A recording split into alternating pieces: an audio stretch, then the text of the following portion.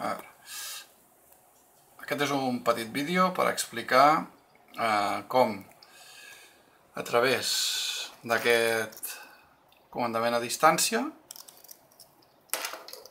mm, activo aquesta placa de relés que té aquest receptor de 433 MHz, doncs quan apreto aquest botó A, el que faig és activar aquest relé d'aquí, i aquest relé d'aquí, com podem veure a través d'aquest cable vermell, si el seguim, va a una, una de les potes del Raspberry Pi. Mm? Al final el que està fent aquest relé és actuar com si fos un botó forma que quan pulso el comandament a distància es comporta com un botó que és llegit pel Raspberry Pi. Llavors, aquí tenim el petit circuit que fa falta per tal de llegir l'estat. Per ser exactes, si donem un cop d'ull a les connexions que tinc al Raspberry Pi, aquesta d'aquí és una alimentació de 3,3 volts, això d'aquí és una pota d'entrada i això d'aquí és un, la massa. Això el que fa és anar aquí a un divisor de tensió, previ passar pel relé fent un pont. Al final el circuit que estem muntant és aquest que podeu veure aquí. Eh? Veure que l'alimentació se'n va a una pota del botó, que en aquest cas és un relé, de l'altra pota del botó se'n va entremig de les dues resistències, al costat de la resistència d'un K hi ha l'entrada del Raspberry Pi, i a l'altre costat de l'alta resistència se'n va massa. Aquí és el que podem veure. Mm? Podem veure com la pota de resistència de cas se'n va massa, que és aquest marron que després se'n va per aquí, i aquí tenim el, el verd que se'n va a fer aquest pont, i per l'altre costat se'n va a l'alimentació, com dèiem abans, i per l'altre costat tenim aquest negre, que se'n va fins aquí, que és l'entrada que llegirem.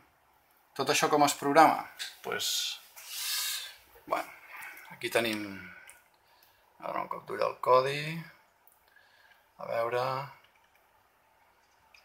Ah, moment... Podem veure, el codi és molt senzill. L'única cosa que fem és carregar la llibreria de les entrades i sortides del Raspberry Pi i per un altre costat eh, bueno, setegem el mode de funcionament del GPIO, diem que treballarem al pin número 4 en mode entrada i fem un bucle infinit i anem llegint a l'estat eh, de l'entrada.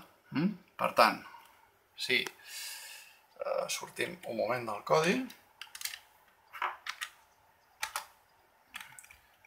i l'executem,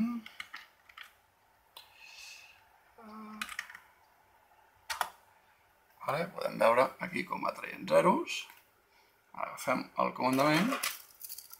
Mm, agafo el comandament, apreto l'A. No sé si s'ha sentit el relé. I veiem que ara treu uns. Mm? Torno a apretar l'A. I ara surten zeros. Ah? La idea és ben senzilla. És quan jo apreto, automàticament canvia l'estat de l'entrada i per tant el programa el llegeix quan torno a apretar torna a canviar l'estat de l'entrada i així doncs, infinitament. Mm? Podem veure, no té, no té més gràcia que aquesta. Mm? Aquests són els relés que sentíem de fondo, com feien la commutació. I aquesta és la història, així de fàcil, així de simple i de senzill.